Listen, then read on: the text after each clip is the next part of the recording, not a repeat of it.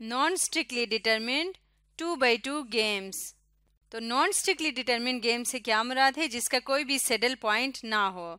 Saddle point क्या होता है? ये समझने के लिए हम एक टू बाई टू मैट्रिक्स लेते हैं।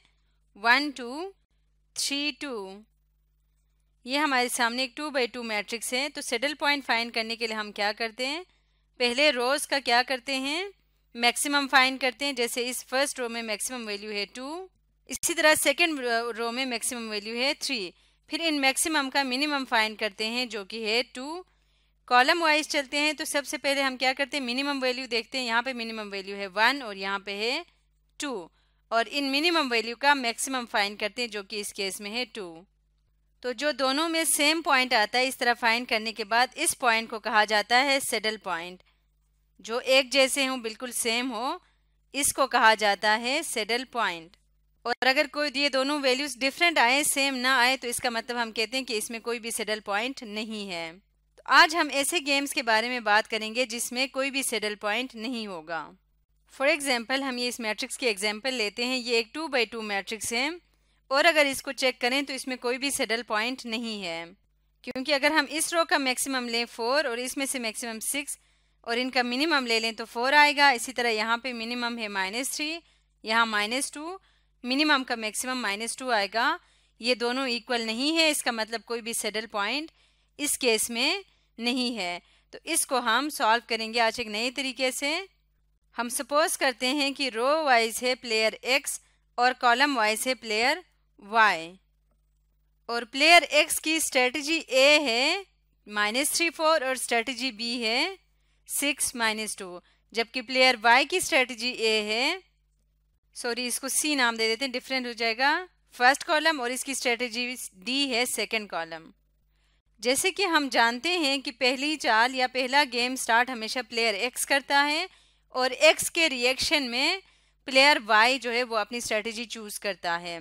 इसीलिए इसको पे ऑफ़ मैट्रिक्स कहा जाता है, क्योंकि हर स्ट्रेटजी के अगेंस्ट किसी न किसी को कोई लूज या विन करना पड़ेगा।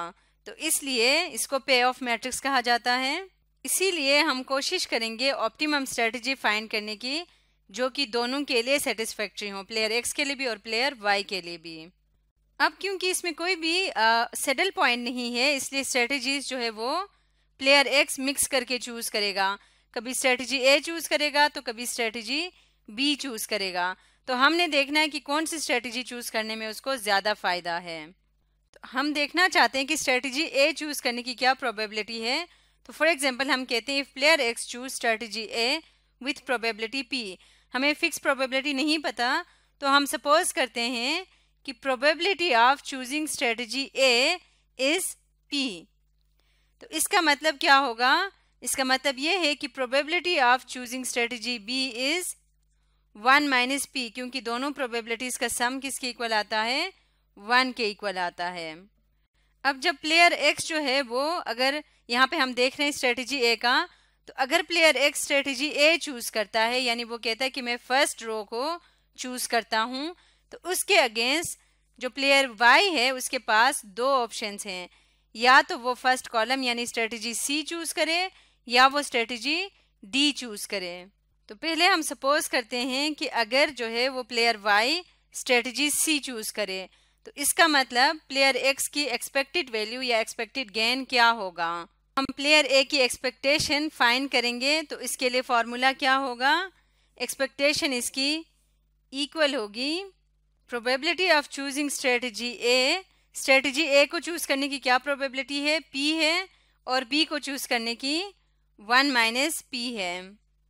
तो क्योंकि प्लेयर एक्स जो है वो रो वन चूज़ कर रहा है, इसलिए यहाँ पे एक रो मैट्रिक्स आ जाएगा।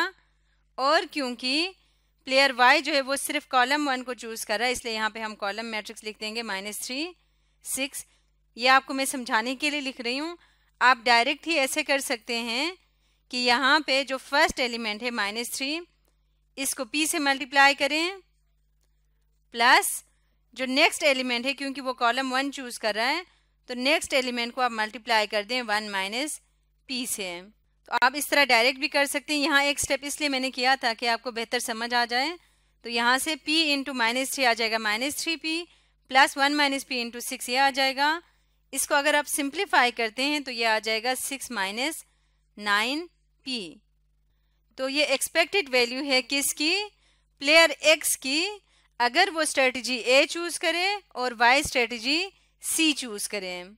अब हम देखते हैं कि अगर प्लेयर वाई जो है वो स्ट्रेटजी सी की जगह स्ट्रेटजी डी चूज़ करता है तो फिर क्या प्रोबेबिलिटी होगी? अगर वो स्ट्रेटजी डी चूज़ करेगा तो इसी तरह से पी मल्टीप्लाई होगा सेकेंड कॉलम से पी वन माइनस पी तो ये आ जाएगा four P plus one minus two into minus one minus P into minus two यहाँ पर मैं लिख देती हूँ, इसकी एक्सपेक्टेशन होगी E is equal to four P plus minus two into one minus P. ये किस केस में होगा? अगर प्लेयर वाई जो है वो स्ट्रेटजी डी चूज़ करता है। इसको सिंप्लीफाई करेंगे तो ये आ जाएगा सिक्स पी माइनस टू ये एक्सपेक्टेड वैल्यू है। अब अगर हम इसको इक्वेशन नंबर वन और इसको इक्वेशन नंबर टू नाम दे दें इन दोनों को ग्राफिकली सॉल्व करें तो हमारे पास इस तरह का ग्राफ आ जाएगा। ये इनका पॉइंट ऑफ़ इंटरसेक्शन होगा, जो कि अगर हम इसमें फाइंड करें तो p की वैल्यू यहाँ पे आ जाएगी। P is equal to eight over fifteen और e की वैल्यू आ जाएगी। E is equal to six over five यानी कि ये जो पॉइंट ऑफ़ इंटरसेक्शन है, ये आ जाएगा एट ओवर फिफ्टीन और सिक्स ओवर फाइव तो ये प्रोबेबिलिटी हमने फाइंड की है एक्स के स्ट्रेटजी ए और बी को चूज़ करने के, कि अगर एक्स स्ट्रेटजी ए जो है वो प्रोबेबिलिटी पी के साथ और स्ट्रेटजी बी जो है वो प्रोबेबिलिटी वन माइनस बी के साथ चूज़ करे, तब उसकी एक्सपेक्टेड वैल्यू क्या होगी? तो हम यहाँ पे लिखेंगे optimum strategy for X optimum strategy for X क्या होगा? प्रोबेबिलिटी मैट्रिक्स होगा जो कि है पी और वन माइनस पी यानी कि ये हमें बताएगा कि किस प्रोबेबिलिटी के तहत स्ट्रेटजी ए चूज़ करे और किस प्रोबेबिलिटी के तहत स्ट्रेटजी बी चूज़ करे। तो पी की वैल्यू हमारे पास है एट ओवर फिफ्टीन तो वन माइनस पी किसकी इक्वल होगा? One minus eight over fifteen करेंगे। तो ये आ जाएगा सेवन ओवर फिफ्टीन इसका मतलब optimum strategy for player X क्या है? Eight over fifteen seven over fifteen अब सेम इसी तरह से हम प्लेयर वाई के लिए भी देखेंगे। तो प्लेयर वाई के लिए हम सपोज़ करते हैं कि वो स्ट्रेटजी सी को चूज़ करने की प्रोबेबिलिटी ऑफ़ स्ट्रेटजी सी उसकी है फॉर एग्जांपल क्यू और probability of choosing strategy D is क्या आ जाएगा? वन माइनस क्यू क्योंकि अब हमने optimum strategy for player Y भी देखना है कि इन केस प्लेयर एक्स अगर रो वन चूज़ करे तो प्लेयर वाई को कौन सी स्ट्रेटजी सी या डी में से कौन सा चूज़ करना चाहिए? और अगर रो टू चूज़ करे तो फिर इसको कौन सा करना चाहिए? यहाँ पे मैट्रिक्स सामने रख लेते हैं ताकि हमारे लिए आसानी हो जाए। तो पहले हम देखेंगे कि अगर player X strategy A choose करे तो फिर क्या होगा? तो फिर हम क्या करेंगे? स्ट्रेटजी ए ये है, ये स्ट्रेटजी बी है। तो इस केस में हम क्या करेंगे? क्योंकि अगर वो ए चूज़ करेगा तो इसके साथ हम प्रोबेबिलिटीज को मल्टीप्लाई कर देंगे। तो ये बन जाएगा इसकी expected values in this case E equal आएगा minus three into Q plus four into one minus Q. इसको जब सिंप्लीफाई करेंगे तो ई e इक्वल आएगा four minus seven Q. Next हम देखेंगे कि अगर प्लेयर एक्स स्ट्रेटजी ए की जगह बी चूज़ करे, फिर क्या होगा?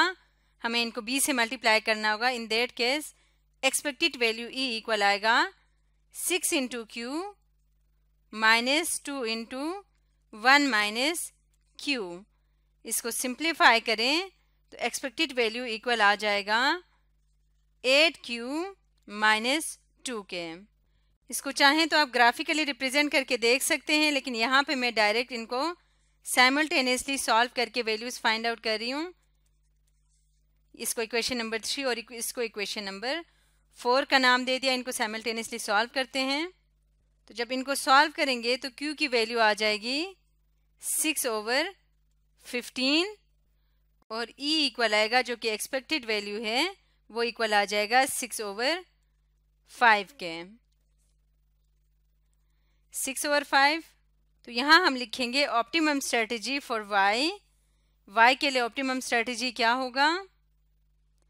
इसका हम यहाँ पे प्रोबेबिलिटीज का मैट्रिक्स बनाएँगे। पी ओ क्यू और वन माइनस क्यू क्यू है हमारे पास सिक्स ओवर फिफ्टीन तो वन माइनस क्यू किसके इक्वल होगा? नाइन ओवर फिफ्टीन के। और इनको सम करेंगे तो ये आपने नोटिस करना कि इनको सम करेंगे तो ये हमेशा वन के इक्वल आएगा।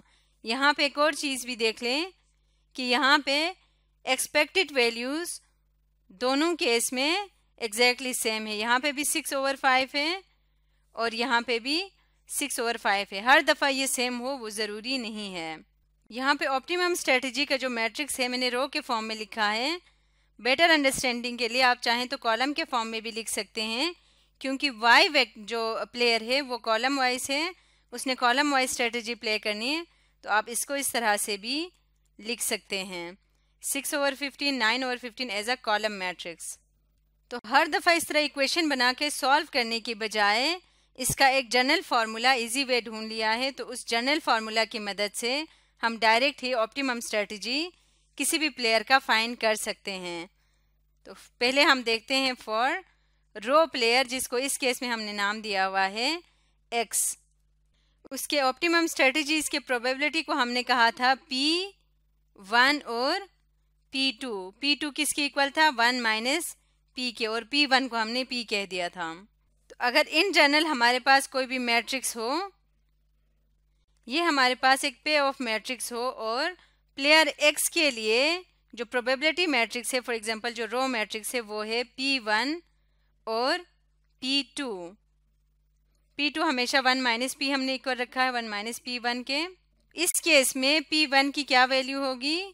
पी वन इक्वल होगा D minus C over A plus D minus B minus C. यानी कि इस फॉर्मूला के अंदर वैल्यू पुट करेंगे तो हमारे पास पी वन की वैल्यू आ जाएगी। और इसी तरह से P2 फाइंड करेंगे। P2 कैसे फाइंड करेंगे? ये जो भी वैल्यू आएगा, उसको वन में से माइनस करेंगे।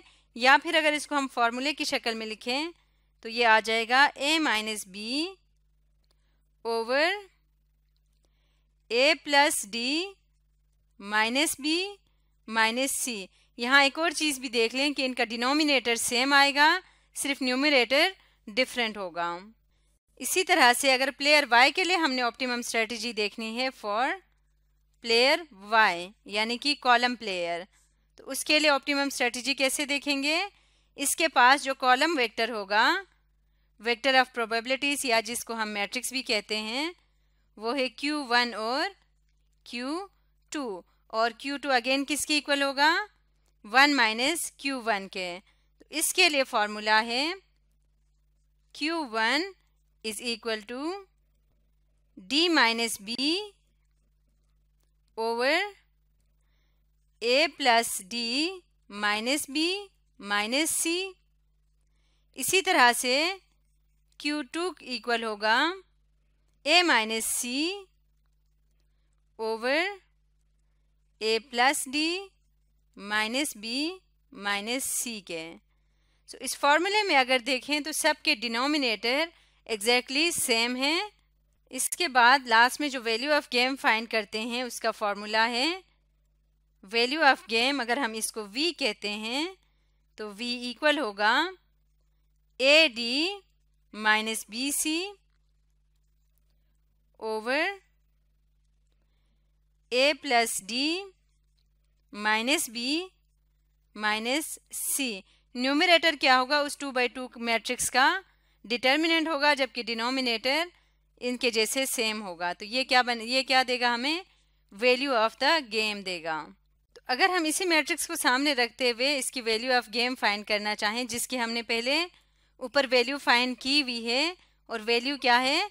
सिक्स ओवर फाइव है एक्सपेक्टेड वैल्यू तो यहाँ पे देखते हैं कि इस फॉर्मूले के तहत हमारे पास v किसके इक्वल आता है? ए डी ये ए बी ये ए है, ये बी है, ये सी और ये डी है तो ए डी क्या आएगा? Three twos are six minus B C क्या आएगा? Twenty four over A plus D A है माइनस थ्री और प्लस डी आएगा माइनस टू माइनस बी जो कि है फोर और माइनस सी जो कि है six six minus twenty four क्या आएगा? माइनस एटीन आ जाएगा। और डिनोमिनेटर में इसको सॉल्व करें तो ये आ जाएगा माइनस फिफ्टीन। और इनको अगर आपस में सॉल्व करें, माइनस माइनस से कैंसिल हो जाएगा। थ्री फाइव ज़र फिफ्टीन और थ्री सिक्स ज़र एटीन। तो ये आ गया सिक्स ओवर फाइव। एग्जैक्टली वही वैल्यू है जो हमने ऊपर फाइंड किया था। तो इस तरह से हम क्या कर सकते हैं? इन फार्मूलाज की मदद से किसी भी टू बाई टू मैट्रिक्स की हम क्या करेंगे? ऑप्टिमम स्ट्रेटजी फाइंड कर सकते हैं और वैल्यू ऑफ़ द गेम भी फाइंड कर सकते हैं। तो आज की वीडियो में हमने सीखा non strictly determined two by two games को कैसे सॉल्व करते हैं।